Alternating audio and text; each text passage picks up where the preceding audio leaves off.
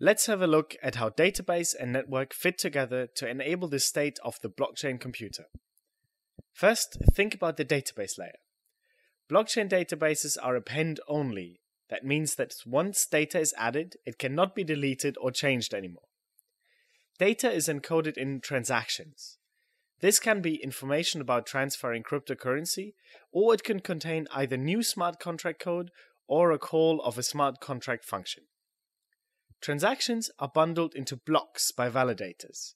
These can be miners, like in Bitcoin, for example.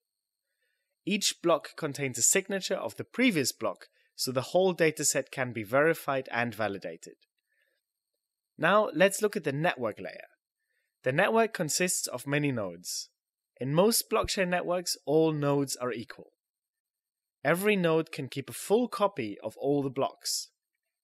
In order to transfer cryptocurrency, add a new smart contract, or call a smart contract function, a node can broadcast a new transactions to its peers.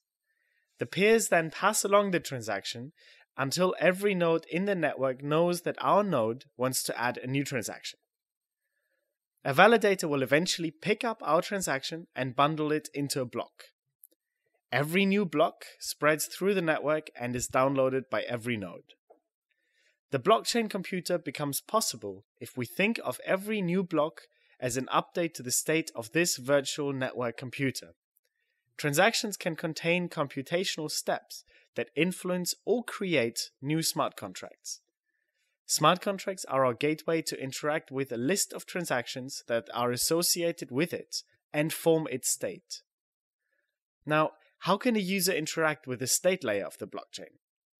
We can build applications that interact with smart contracts via a node to either read information from the network or send new transactions. If you want to learn more about blockchain, check out our online courses at B9lab Academy and also subscribe to this channel.